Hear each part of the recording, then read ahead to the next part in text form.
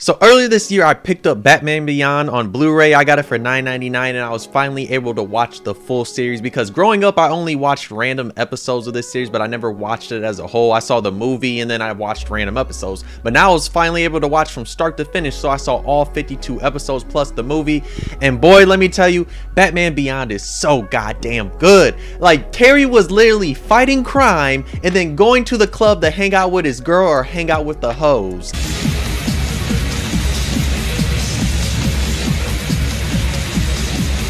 Like that man was out here on the dance floor fighting crime, then going to the club, having the time of his goddamn life, along with him, you know, being in high school, even though you think about it, it's like, shouldn't he have been like at least 21 or something to get into a club or 18 or at least not been in high school? But hey, it don't matter. It's the future in this world. Because you know they're in a cyberpunk type of Gotham City, so it don't really matter what the laws are in that world. But yeah, Terry was really out here fighting crime and then going to the club to shake some ass with the hoes or shake or dance with the hoes, I should say though. But yeah, let's talk about Batman Beyond because this was an amazing, great watch. And I want to talk about all my different thoughts and feelings about the series after finally being able to watch it entirely. Because as I was a child, I always thought this show was dope and really good, but actually watching it from start to finish, I realized how good it actually was. And I can't lie, there's a lot of stuff in here I actually enjoyed a little bit more than Batman the Animated Series. I will say that though.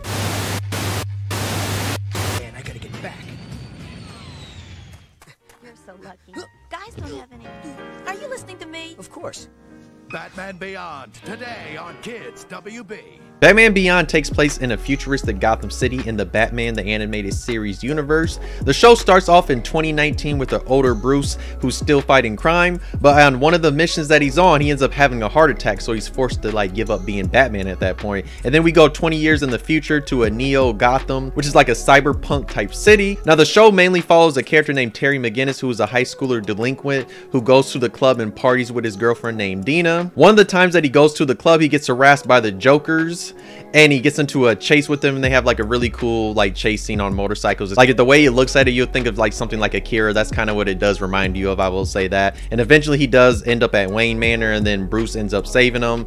And then like he even finds out that bruce was batman. But one of the things that happens in the series that even turns terry into batman is that his father gets killed and eventually he finds out who it is and then like bruce finally agrees to let him be batman. And once terry becomes batman from then on we get to watch the whole series of the 52 episodes of seeing terry as batman as he struggles with trying to have a normal life and be Batman at the same time. And trust me, he goes through a lot of different things. Now, the series overall is really good because like I really like the balance that Terry has to have between, you know, having being a high schooler and then having a girlfriend and then even doing stuff with his family and then being Batman because it kind of reminds you something of like Spider-Man. I think that's why I think Terry's so relatable as a character because he kind of reminds you of Peter Parker. It's like, what if Batman was like a Peter Parker type of character? And that's what Batman Beyond, in my opinion, really reminds me of because Terry's a very relatable character because I relate to him so much because like he reminds me kind of like how I was in high school a little because Terry is cool with almost everybody in his school besides some of the people that he's not but it's like he can hang out with so many different people and then also he's some of his closest friends are girls and that's why I could just kind of relate to him because I was like dog when I was in high school that's kind of how I was. Some of my closest friends were girls along with like some of the guy friends that I had I was cool with a lot of different people. So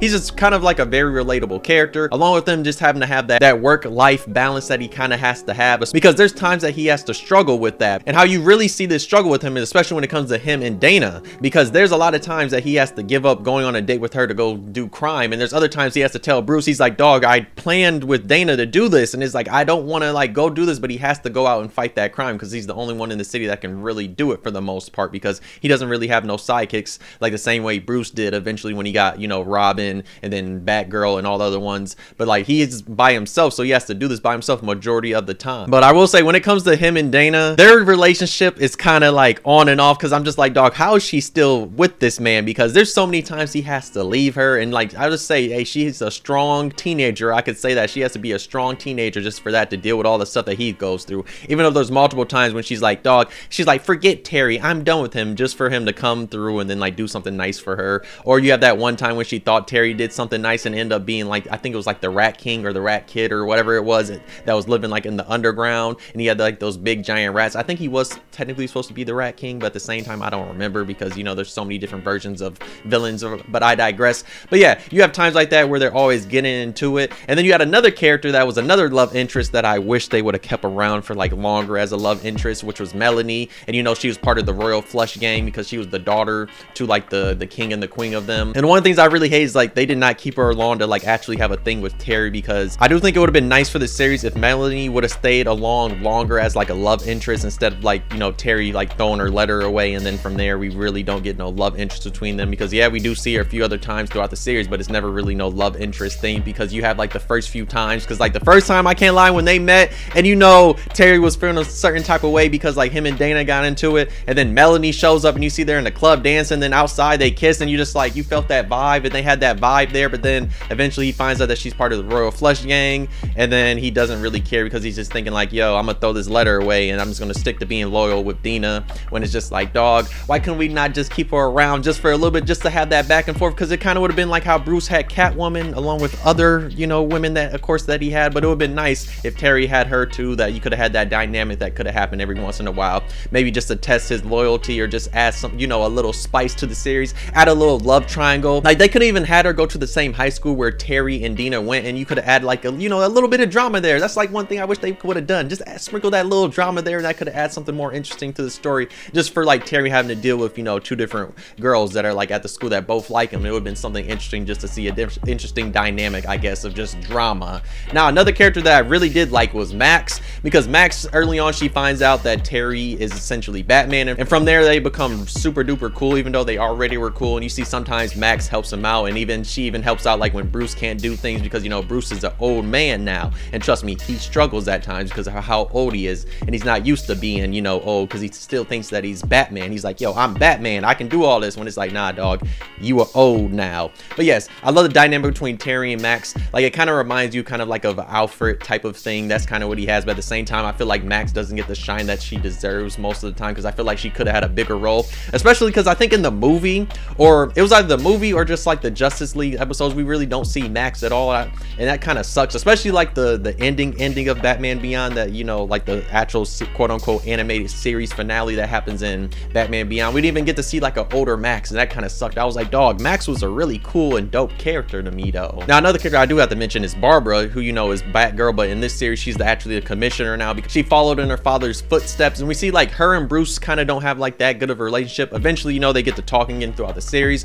but we get to see like how she has to deal with different stuff. Like the time like her husband was getting attacked and she had to deal with that so there's a lot of interesting things with Barbara that you can just see like how she grew up and like how things have changed especially like how she doesn't really care for like Batman and all that stuff anymore because that's kind of her past and now that she's the commissioner. But you see like she eventually does come on to Terry and realize like yeah Terry actually is good for us and we do need Batman in the series. Now when it comes to Bruce I actually do love the way his character is in this series because he has to realize that he's not Batman anymore especially because he had the heart attack that was like way early on in the series and you see like the way he is now and especially because he has nobody at all because everybody's gone. Nightwing is gone Barbara's not talking to him and even Robin's not really rocking with him anymore because especially because what you learn in the movie about like what Harley Quinn and Joker did to him like as you learn in the movie. So like essentially nobody's really with Bruce besides the dog that he picked up. And of course we did get a backstory on the dog too. I think the dog's name is Ace and we did get that backstory on him. But besides the dog he really has nobody at all. And like when it comes to Terry Terry low-key is kind of just helping Bruce out because Bruce was kind of just like a cranky old man that just lives by himself. But it's like now that Terry's there he finally has somebody that he can talk to that's kind of helping out you know his mental health and like especially like when it comes to like Batman because now you have Terry there and you see like there's a little dynamic between them especially because Terry has certain ways that he wants to do things and Bruce has certain ways that he always did things but he's realizing that times have changed and maybe he should listen to some of the ideas that Terry has because there's a lot of times that they butt heads and trust me they butt heads throughout the series a lot of different times when it comes to like how they should handle certain situations. There are times that Terry should have listened to Bruce and handled it that way but there's also times where Terry does something like actually the right way that like Bruce was saying needs to be this way but it's like Terry does it a better different way. So there, there's times like that that you can see that it's like yeah Bruce your way was cool back in the day but you need to follow what Terry's doing because Terry knows what he's doing because he's younger and he can do all this. And there also are times when Bruce does have to step up to save them even though he's older. There's like times like he has to step up like when he's in the limo or the times that he does get into a suit because he has to help out Terry because Terry was in a certain predicament that happens throughout the series especially like when Terry gets knocked out because I will say this, Terry does get his ass whooped a lot in this series. But like for the most part, that's, that's kind of like how a lot of these older series were. When it comes to the hero, they get beat up for a little bit just to like figure out what they need to do. But there are times that I do feel like Terry, I'll be like, damn, Terry, why you getting your ass whooped like this? You should not be getting your ass whooped like this though, but it happens though. Now, when it comes to the villains in Batman Beyond, Terry really doesn't have that big of a roster when it comes to villains that are like for his own or at least that are very remarkable because majority of the villains are just people from the past that were like Bruce's villains. Like you have Mr. Freeze that shows up again and his story actually in this is actually pretty sad because we see that he actually gets to like get a full body now and he gets brought back to life just for him to die at the very very end which was very sad. And then you have al Ghul who shows up and that man is on some very diabolical shit. That man literally is inside like his daughter because you know like the way they do the thing whatever. I know that sounded like a very crazy sentence, but you know, like his brain is basically taken over his daughter's mind and all that. And like the crazy thing is like he kisses Batman, he's leading Batman on, he's making Batman's body all younger and stuff because, you know, Bruce is of course wants to be young because he wants to be Batman again and we do get to see Bruce a little bit younger like for a little moment. But yeah that whole thing with Ghul was so goddamn wild. I'm just like dog I'm like no you did not take over your daughter's mind just to go kiss Bruce and like seduce him and all this. And I'm just like yeah that man was on some wild stuff. He was on demon time. But yeah majority of the villains are just people that return. They're at least like older or they're like their new additions of like stuff that we already saw in Batman the animated series because they're already been like Bruce's villains. But there are a few villains in my opinion at least there's one that was actually really good that's part of Terry's roster, I'd say, of villains, and that is Ink.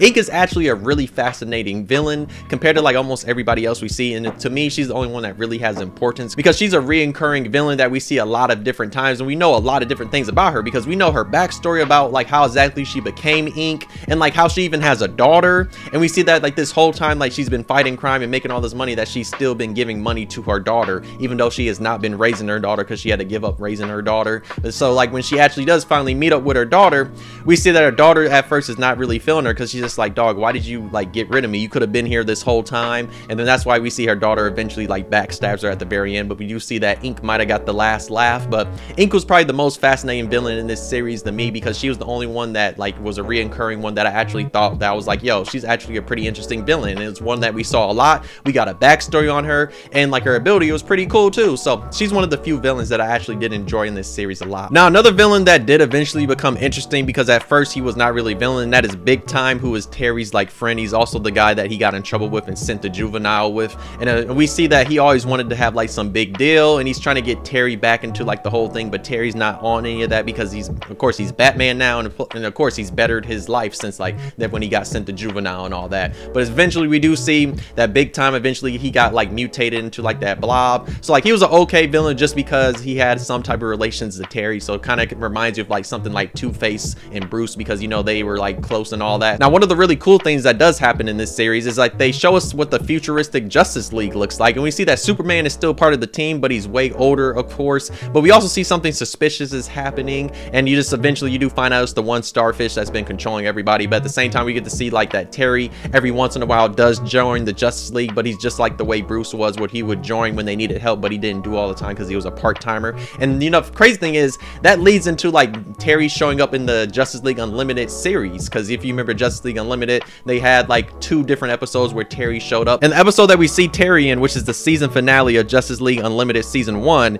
and that is the once in a future thing part two. If you remember this two-part episode this is the one where Batman Wonder Woman and Green Lantern all get sent to the future by like the the end of like the first episode. And in this episode we could see Terry in the future as he's older and he's an adult now along with a whole bunch of other different characters like the futuristic Green Lantern and the new like Hawkman. And like the one of the things I really did like about this part is of course we see like a younger Batman be with like of course Terry. And get to see like how they interact together. And of course one of the other things I did like was seeing John Stewart see his son in the future especially because his son was actually really sad because we find out that John Stewart dies in the future. So that little heart to heart that those two had was actually really nice and actually showed that it was like oh him and Hawk Girl actually do have a child together. So it's like yeah we already knew that John Stewart he was getting the hoes. But at least this episode shows us that yeah he was putting it it down too. Even though we already knew that he was putting it down because if you watch Justice League and Justice League Unlimited, you know that man had the hoes. But yeah, we just see him in that one. That was just pretty cool just to see like an older Terry along with like an older, younger Batman and the old Batman that we saw too. That was showed in the future though. Now, last time we ever see Terry animated, of course, in the animated series universe is in the last episode of Justice League Unlimited season two,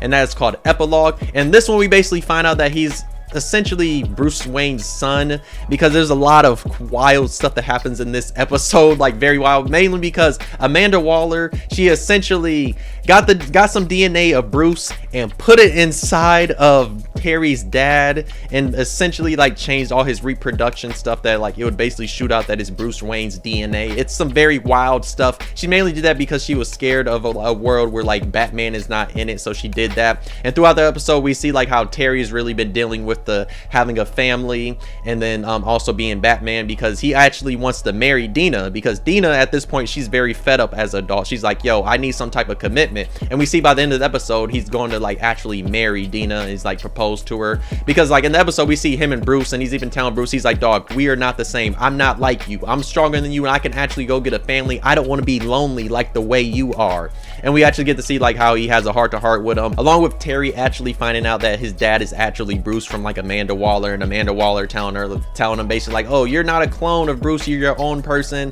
And then like she's also like calling him dumb or some other dumb shit too. But yeah it was a pretty good episode I guess to finish off the whole series of Batman Beyond just for Terry giving him a good fitting ending because we get to see he gets to be with the woman that he wants to be with along with him being his own person. I do think it's pretty interesting that they just show that like, I was like yeah he's actually related to Bruce like through some you know whole bunch of genetic type of BS science stuff and all that. Even though you know they could have just said that like maybe Bruce like smashed his mom or something at one point they could have done that instead of you know injecting his actual dad with Bruce's DNA which is some very wild stuff. I'm just like how you go to the doctor and just get injected with all this wild night because it was like through like nanotech and all that too. Yeah it was just, it's kind of just like ridiculous when you think about it. It's like this is how he becomes Bruce's actual biological son which is just kind of funny but at the same time I just like that it's a fitting ending for the character because like Terry's actually doing something that fits his character because one he likes being with Dina and like he would want to have a family and not be alone like the way Bruce is because Bruce basically chose that from own self because he never wanted to have a family that people could hurt him because he had all these different villains like the Joker and other people that could find his family and hurt him. So he never wants to experience that ever again. Where Terry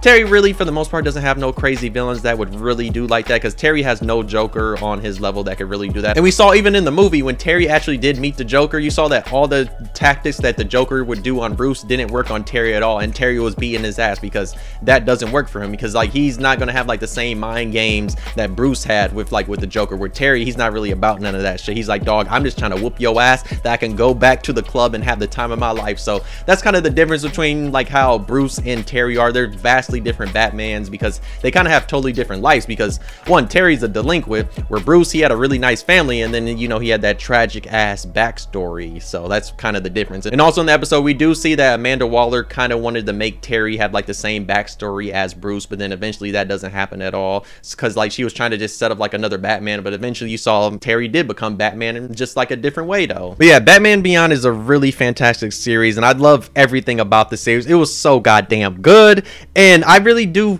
like it more than Batman the animated series. I think it's because I relate so much to Terry compared to like Bruce Wayne and I also I just like the whole scene of just like the club. Now when it comes to the club scenes in Batman Beyond, I can't lie, the club scenes are so goddamn good and like they're honestly some of the best club scenes in like any animated series. Even if you go with anime stuff, anything in general, anything that's been animated. The only other thing I can think of that has a really cool club scene is something like Orange Road that has a really cool club scene, but at the same time, the way Batman Beyond made the club look, that shit was always fire. And especially like the movie too. The movie made it even more crispier too. But yes, the club scene was like one of the things I loved a lot about Batman Beyond because it was just so dope. They're just like, dog, they're all in high school. They go to the club. They're having the time of life. And it's like even Terry, because he was fighting crime. And there's like that one episode that man went to the club and he was falling asleep because he was so goddamn tired, even though he had Dina there and like she was getting mad about that. Because there's a lot of memorable scenes in this series, especially the one when like Terry first meets Melanie and you just see like they're vibing like that because there's so many times they're just vibing. You you're just like, yo, I can relate to me and somebody like that I just vibed with as soon as I met them. Batman Beyond, one of the best Batman series ever made. It's so goddamn good, especially even you look at the and the way the animation is. I mean, the animation, all the animated series stuff, even going to like Justice League Unlimited was always peak, but this one looks so goddamn good too.